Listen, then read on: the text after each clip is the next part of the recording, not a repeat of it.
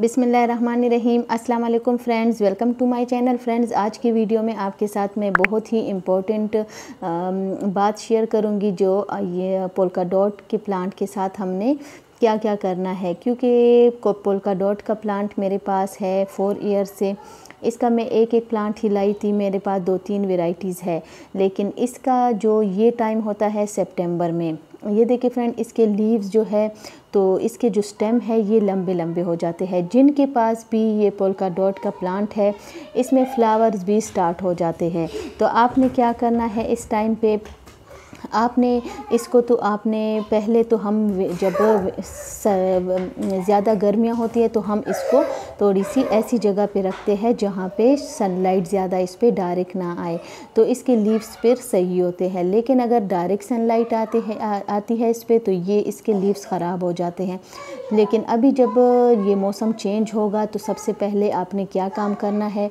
आपने ये जो, इसकी जो लंबी लंबी स्टेम स्टेम है तो इसको हमने कट कर देना है। ये देखिए फ्रेंड इसमें फ्लावरिंग स्टार्ट हुई है। तो फ्लावरिंग जब भी इसमें फ्लावरिंग स्टार्ट हो तो अगर आपने सीड्स इसके नहीं लेने तो आप इसको फिर कट कर दें। क्योंकि आप इसको कट करेंगे और इसकी ये जो कटिंग है, इसको आप दोबारा भी लगा सकते हैं। और इस मंथ में अगर आप इसकी कटिंग लगाएँगे तो इसकी कटिंग लग जाएगी। लेकिन इसके बाद अगर आप कटिंग लगाएँगे तो फिर इसकी कटिंग नहीं लगती। ये देखिए फ्रेंड अब इसकी जो लीव्स है, इसके स्टेम है, ये सारा, सारे जो मेरे प्लांट्स हैं, बहुत लेगी हो गए और इसकी बिल्कुल भी अभी ये खूबसूरत नहीं लग रहे। तो अभी अब हम इसके साथ, अभी आपने क्या करना है? आपने इन सारी स्टेम को हम इसको बिल्कुल नीचे से हम इसको कट करेंगे। क्योंकि इसकी कटिंग तो एक हम लगा सकते हैं। दूसरी बात ये कि इसकी जो जो नीचे से ग्रोथ है, इसकी दोबारा से ग्रोथ स्टार्ट हो जाती है। तो फिर आने वाले सीज़न में इसकी न्यू ग्रोथ होगी और ये बहुत ही खूबसूरत फिर इसके नए नए लीव्स निकलेंगे और बहुत खूबसूरत लगता है। फिर अगर इस पर डायरेक्ट सनलाइट भी आए कुछ टाइम के लिए तो भी इसकी तो भी ये फिर अच्छी तरह से ग्रो होता है। लेकिन अगर आपने इस तरह इसको छोड़ दिया तो इसकी जो जो ये लीव्स है स्टेम है, इस ये और भी लेगी होते जाएँगे और इसके लीव सारे ख़राब हो जाएँगे। तो इस प्लांट का फिर कोई भी फ़ायदा नहीं होता। आपने इसकी कटिंग ज़रूर करनी है, क्योंकि जब तक, जब विंटर आ जाए तो फिर इसके स्टेम सारे लेगी हो के इसके लीव सारे ख़राब हो जाते हैं, लेकिन आपका प्लांट ख़त्म नहीं होता। ये देखिए फ्रेंड इस तरह हमने इसको नीचे से ही कट कर देना है। तो इसकी जब अब हम कटिंग करेंगे, इसके जो सारे, जो नीचे के लीव्स है चार पाँच तो वो आपने रिमूव कर देने हैं और फिर इसके मैं फिर सारी कटिंग लगाऊँगी और इनके जो बड़े बड़े लीव्स हैं, इसको भी आपने कट कर देना है। इसके बाद फ्रेंड आपने क्या काम करना है? ये देखें, यहाँ भी जितने भी इसकी जो स्टेम है लंबी लंबी इसको हमने बिल्कुल नीचे से ही कट कर देना है। इस तरह आपने बिल्कुल इसकी जो नीचे एक इंच की स्टेम है, इसको आपने छोड़ देना है। और अभी आप ये देख सकते हैं, इसमें यहाँ से इसकी ग्रोथ स्टार्ट हुई है।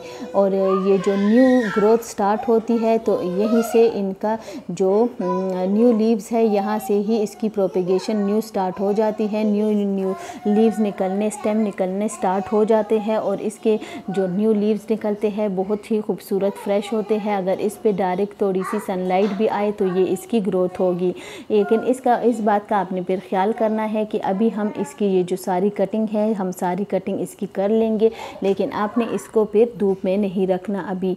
अभी भी आपने ऐसी जगह पे रखना है जहाँ पे एक दो घंटे की इस पर हल्की सी लाइट आए।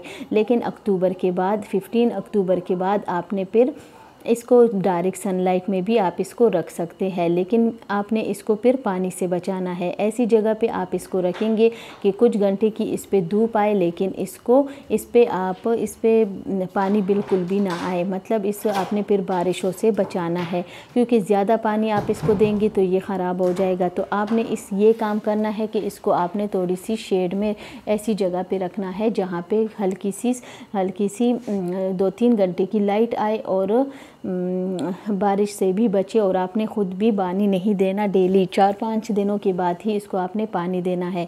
लेकिन इसकी जो सॉइल है, आपने कैसी बनानी है, आपने बिल्कुल इसमें कंपोस्ट आपने थोड़ी सी ऐड करनी है कोकोपीट कंपोसेंट और गार्डन सॉइल आपने ज़्यादा लेनी है। तो इसके बाद आपने इसको फिर ये सारी जो कटिंग है, आपने वो लगा देनी है।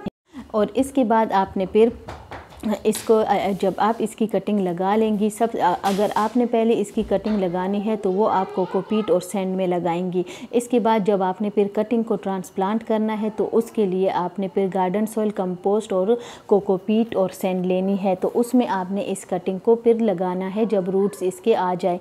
तो इसके बाद फिर आपने उसको ऐसी जगह पर रख देना है, जहाँ पर हल्की सी दो तीन घंटे की लाइट आए और बारिश से भी बचे। और अभी ये जो जो, जो हमारे जो मदर प्लांट है तो इन ये आप देख सकती हैं इन सबको मैंने नीचे से ही साफ़ सबको बिल्कुल कट कर दिया है और इन सारी जो जितनी भी ये इसकी ब्रांचेज़ है इसको मैं लगा लूँगी।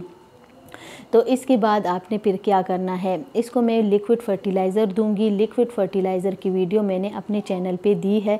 वही लिक्विड फर्टिलाइज़र आप अपने सारे प्लांट को सितंबर में देंगी तो तब ही आपके प्लांट्स की ग्रोथ अच्छी होगी। और किचन वेस्ट कंपोस्ट हो या काउडंग कंपोस्ट हो तो वो भी आप सितंबर अक्टूबर में दे सकते हैं, उसके बाद नहीं। तो अभी से आप कोशिश करें कि सारे प्लांट को फर्टिलाइज़र दें और उनकी कटिंग करें। और न्यू जो कटिंग है वो भी आप लगा सकती है, इसके बाद आपने फिर इसको, अब फिर इसकी आप देखेंगे कि ग्रोथ भी अच्छी होगी और आपके प्लांट्स दोबारा से अच्छी तरह से चलने स्टार्ट हो जाएँगे।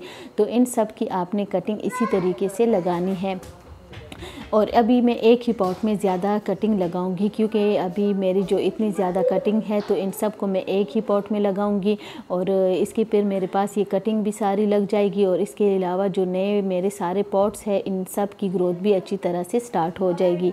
तो जिन लोगों के पास भी पोलका डॉट का प्लांट है तो इस तरीके से वो इन सब की ऊपर से आप बिल्कुल नीचे से इसको कट कर दे और इन सब की जितनी भी इसमें स्टेम है, आप इसकी कटिंग को लगा ले। तो अच्छी तरह से आपकी कटिंग चल जाएगी। और इसके साथ आपने फिर क्या करना है कि जितने भी आपके पास और प्लांट है तो उन सब के भी आपने कटिंग्स लगानी है। अभी 15 अक्टूबर तक आप कटिंग्स को ग्रो कर सकते हैं। कटिंग के लिए आपने लेना है सेंड और कोकोपीट के। सेंड और कोकोपीट में आप सारी जितने भी आपके पास परमानेंट प्लांट्स हैं, उन सब की आप कटिंग लगा सकते हैं।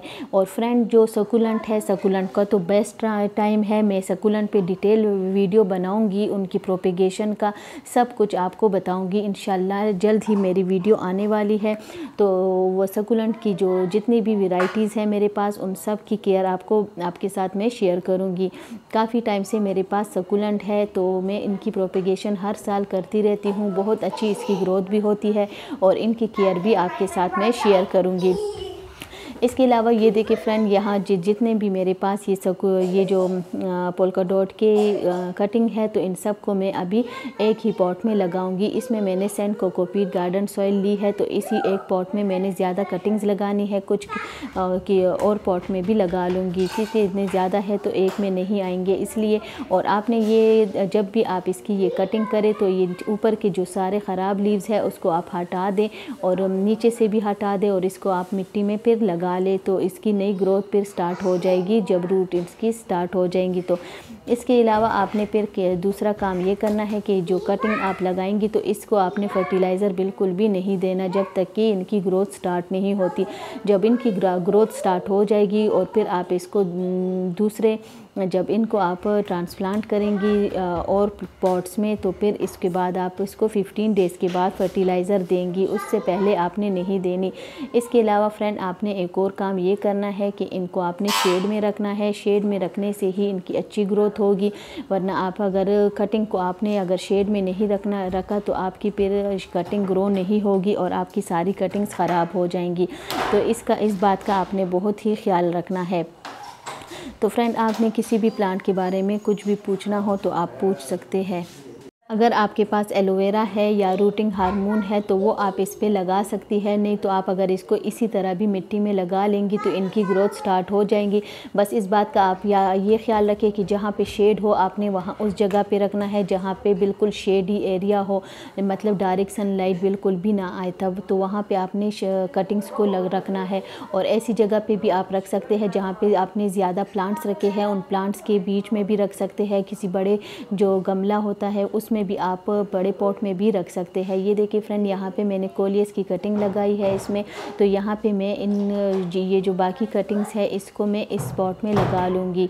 तो आप की मर्ज़ी, अगर आपके पास बड़े पॉट है और आपने कुछ और कटिंग्स भी लगाई है, उसमें भी आप इन कटिंग्स को लगा सकते हैं। इनकी ग्रोथ आसानी से हो जाएगी और इसकी फिर मैं आपके साथ इनकी अपडेट भी शेयर करूँगी। तो मेरी वीडियो 11 एम आती है। डेली आप वीडियोस को देखा करें तो आपको काफ़ी इन्फॉर्मेशन मिलेगी और अभी तो विंटर इंशाल्लाह आने वाला है तो विंटर में भी आपको बहुत ही ज़्यादा इन्फॉर्मेटिव वीडियोस मिलेंगी। आपको काफ़ी सारी इन्फॉर्मेशन प्लांट्स से रिलेटेड मिलेगी तो वीडियो को देखा करें टाइम पे। तो फ्रेंड आज की वीडियो आपको कैसी लगी? वीडियो अच्छी लगे तो लाइक शेयर ज़रूर कीजिए। चैनल पे न्यू है तो चैनल को सब्सक्राइब कीजिए।